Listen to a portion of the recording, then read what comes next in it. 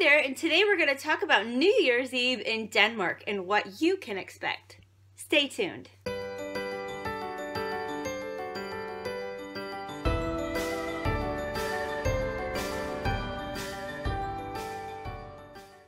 Hi there and welcome back to my channel. If you're new here, my name is Kelly and I'm an American who lives in Denmark. And specifically, my very first New Year's Eve here in Denmark was in 2007. And I have been spending quite a few of my New Year's in Denmark ever since. And I'd like to share with you a little bit about what goes on, what happens during New Year's Eve in Denmark. Before we get started with that, if you haven't already, please consider subscribing to my channel. I would love to have you as a new subscriber. If you've been coming along and watching my videos and you haven't quite committed to clicking on that red button, please make today be that day. If you are already a subscriber, thank you so much for being here. I really appreciate you. And at the end of the video, I'm going to share with you a little tradition that they do every New Year's Eve on the island of Als in the small town where my husband grew up. It's a village of around a thousand people. And it's not something that I've experienced in any other part of Denmark.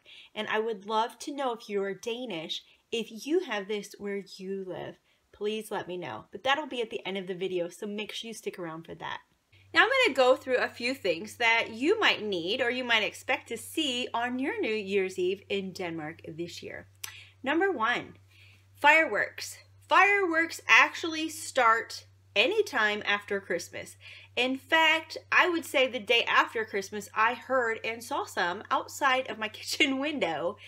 People are just lighting them off. Usually throughout the month of December, you will find these booths set up. There's some that are set up in front of bigger stores. They could be set up outside of your town in a tent kind of situation where you can go and buy your own fireworks. These can be like the really big ones that go up into the sky and sparkle all the way down. They can be sparklers. They can be something that you light on fire and spins around, smokestacks, lots and lots of different things. So when you think of fireworks, pretty much what you're thinking of can be bought at one of these stands. And people may be lighting them off anytime after Christmas up until New Year's, but usually on New Year's Eve at midnight, that's when you will see the most fireworks. And it's insane. You know, when I think of fireworks in the United States, I think of the 4th of July. We don't normally do fireworks any other time of year. And it's very regulated. You can't buy fireworks in every single state. Some states sell them, some states allow them. Um, if you have your own fireworks and you light them off, you could get in trouble if, you know, you haven't gotten the permission to do it. So there's a lot of kind of red tape, and we usually only do it around 4th of July. Yes, of course, on New Year's Eve, you'll see fireworks displays in a lot of big cities all throughout the world, especially if you're watching something on TV. A lot of fireworks, you know, you they would show you the fireworks displays in different parts of the, of the world.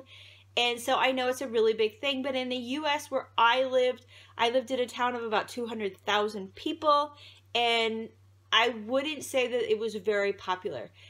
It's usually pretty cold where I lived in the winter time. I mean, in the negative degrees. It was very cold.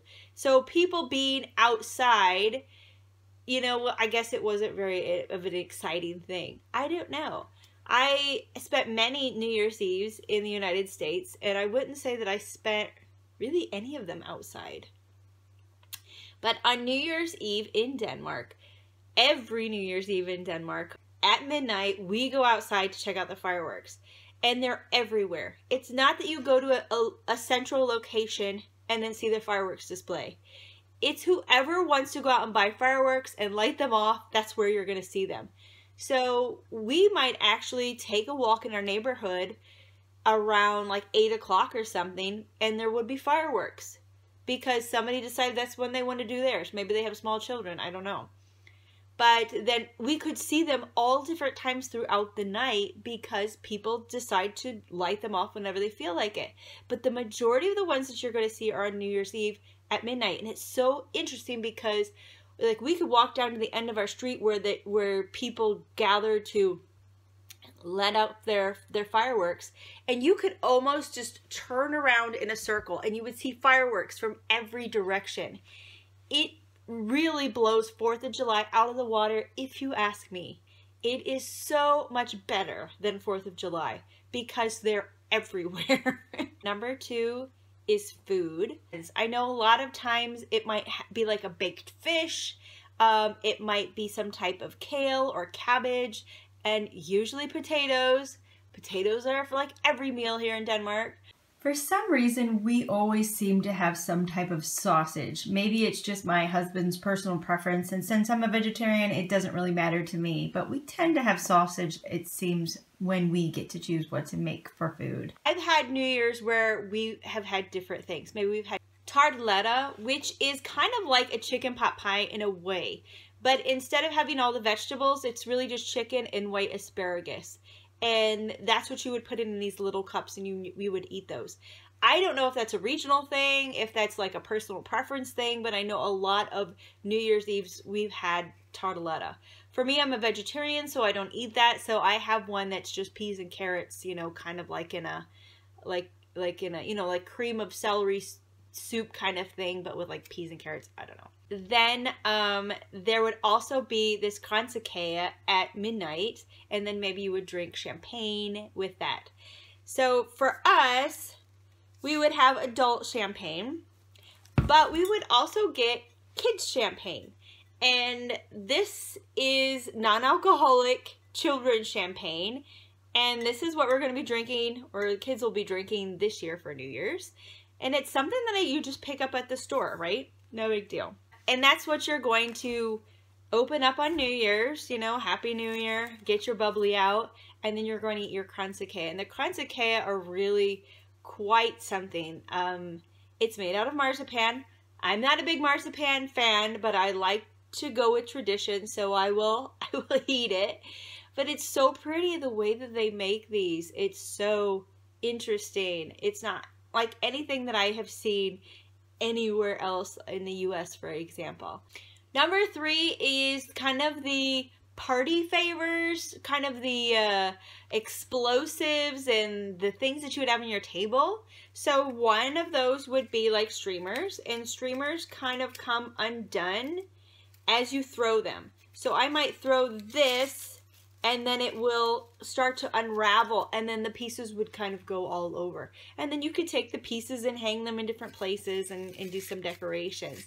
That's something that's really fun. I don't really know um, if we use anything like this in the U.S. I I didn't even know how to use it when I had my first New Year's here. So that's something that I'd really love to hear from other people. Is this something that you have seen where you just kind of throw these, you know, at the table and whatever? Let me know about that. Um, another one that we always use are sparklers. People actually use sparklers inside, which I think is crazy. We take these outside. Another thing that is a must, which is kind of dangerous, not really, are these little um, party bombs.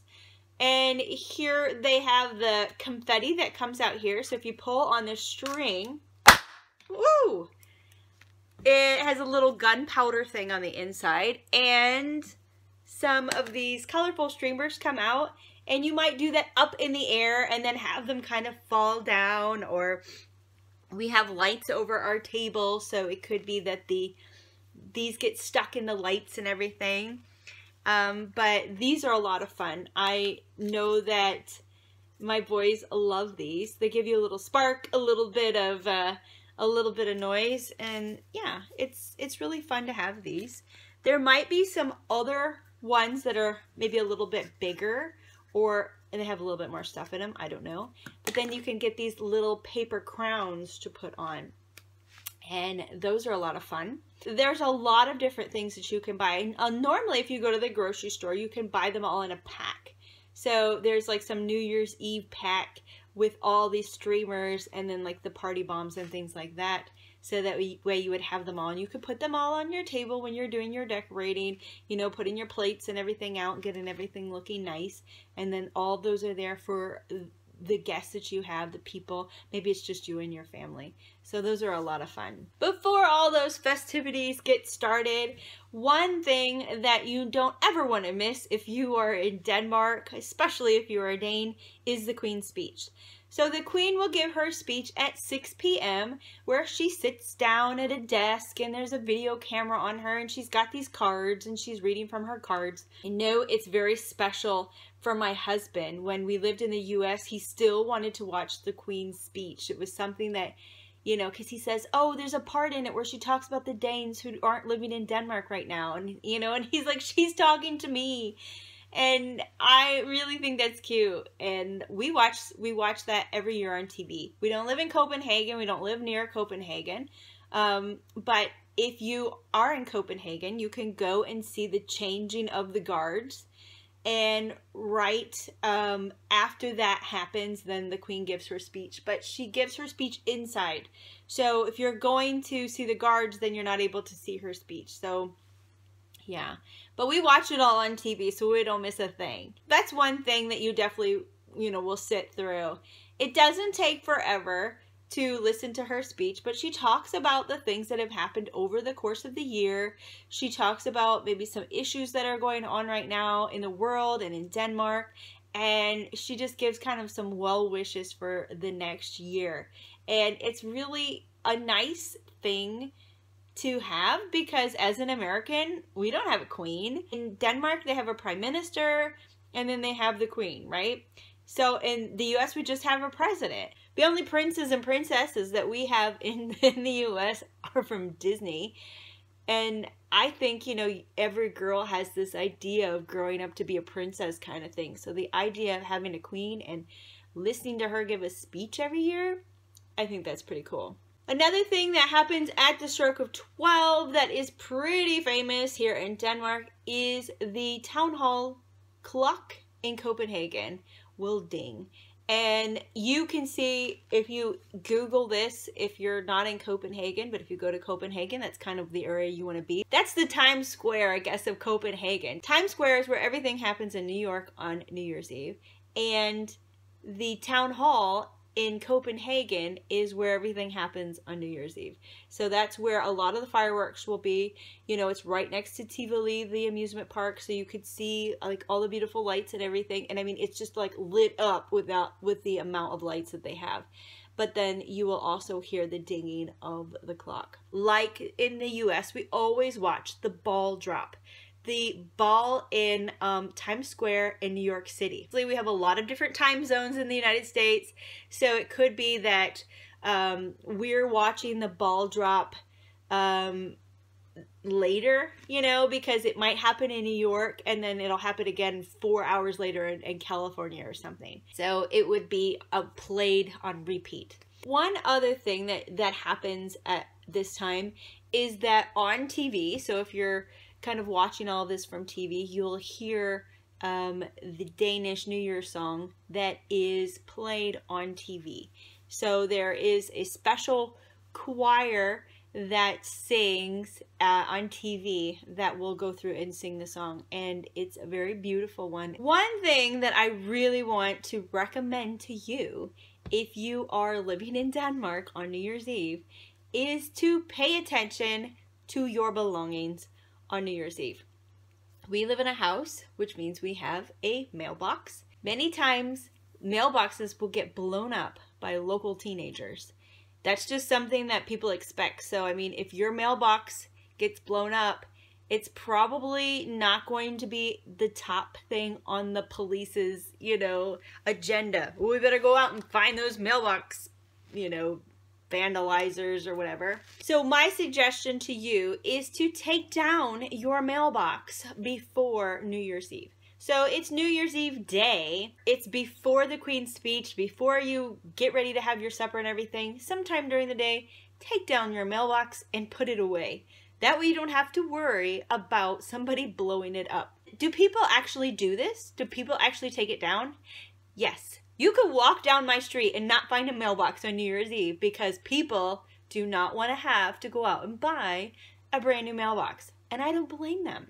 Also, if you've got your bikes out and they're not locked up, or you've got other things, and I mean, in Denmark, we don't always lock things up, right? You might not, you might have a carport, but not a garage, and you just don't expect people to go in and steal things, right? Because that it's Denmark. People don't do that you might want to make sure you're putting some things away or you're locking things up or something because and I don't want to blame it on teenagers because I don't know who's doing it, but it tends to be local teenagers or kids or whatever, younger people who feel the need to go out and do these crazy things. So just be on the safe side and think if I were a crazy teen perhaps what would what would I take or what would I vandalize? So just be aware. Now we get to the part at the end of the video where I tell you a little bit about an experience that I've had in my husband's little village where he grew up. Now, my husband grew up on the island of Als, which is a small island near the German border. So he is a southern Dane. We live in Midtjylland now, which is the middle of the peninsula. So I wouldn't, you know, even though we're only like two and a half hours from where he grew up, it's still a very different type of area with different customs and traditions and things. I know that what I'm about to tell you is not something that I've experienced where I live now in Denmark. I have actually not heard about it or seen it in other parts. Well, on New Year's Eve, a lot of the children who live in this village will go around to houses. They will knock on the doors, and all the kids have these protective glasses whenever they're doing anything with fireworks, and that is so important. So if you have not went out and bought your, you know, protective goggles, make sure you do that. Adults and children need to make sure that they're protecting themselves whenever they're doing anything with fireworks. So please be safe on Year's Eve but the children will come around and i would say that they're not like they're not like toddlers or anything these are these are bigger kids right and they would have the protective goggles on and they would have like a small firework and they would light the firework right there in front of the house while the person is standing at the door. You know, they knock, knock, I open the door, and then they say, Happy New Year, and then they light the little firework or whatever, and then you give them candy. So, in a way, it's a lot like trick or treat, where they, but it's not trick or treat, it's trick and treat. And it's not like it's a trick against you. It's not like, ah, oh, I'm gonna do a trick, I'm gonna throw it at your face. It's nothing dangerous. They're they're performing a trick for you with this little firework that, you know, you get to enjoy. And I I always really love that. It's not always the you know, the kids with the tricks because when we experienced this, you know, of course, it's a village where my husband grew up, so he knew a lot of people there. And my little boys, they would put on these hats and we put them in their Sæbekassebil, which is their soapbox car that my father-in-law made for them and we pull them around the neighborhood and we go to a very selected few homes and we'd knock on the door and they would give candy. So it was very similar to trick or treat. And I don't know, that's just really kind of an interesting thing. It was just really sweet um, to do with my kids because it was something that my husband grew up doing and that he got to share that with his kids too.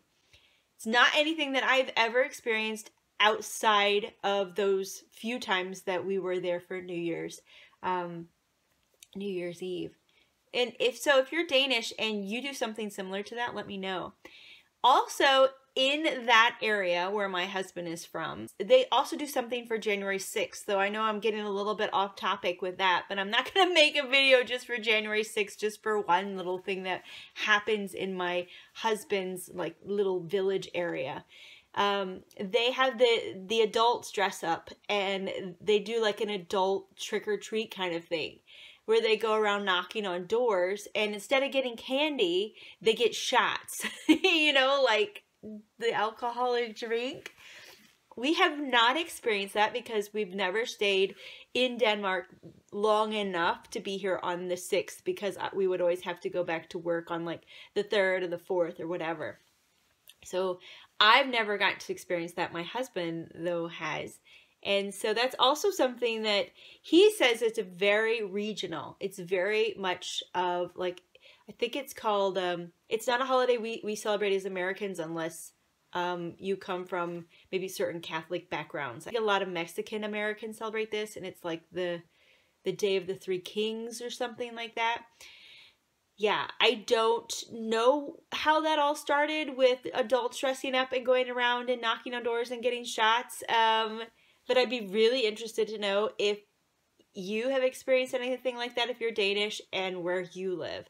Um, I think a lot of these traditions like this one that that happens with New Year's Eve and the kids going around and getting candy in that small town. I don't think that that's something that's happening that much anymore. I think a lot of the people who live in that village are older. They're all um, grandparents. And so the newer families who are coming to live in that village, they didn't grow up there. So they're not used to that tradition. So they're not carrying it on with their children. So I think it's something that might actually be dying out in that town. But I would love to know if you have any traditions of your own right now that you're going to be celebrating this year or every year from now on, or ones that you remember celebrating in Danish New Year's past that you don't do anymore. Please let me know about those in the comments. If you are interested in knowing more about um, some of our experiences here living in Denmark. I have a section on my blog. I'm going to put the link in the description so you can check that out of some of the crazy experiences that I have had a little bit with culture shock and and the like of what life has been like for me since moving to Denmark. Thanks for coming along on this video. If I forgot anything, let me know. New Year's is a few days away, so it's been almost a whole year since I've had a New Year's here in Denmark, and I don't think I've forgotten anything, but maybe I have, and you'll have to let me know. Put it down in the comments below, and you can share it there. Thanks for coming along on this video with me. Thank you so much to my subscribers. I really appreciate every single one of you. At this point in time, I have 11,600. I am so blessed to have so many people follow me along on my journey, and I would love to have you along as well if you are not a subscriber yet. I can't wait to see you in another video, and I really hope you have a fantastic New Year's Eve. As always, take care.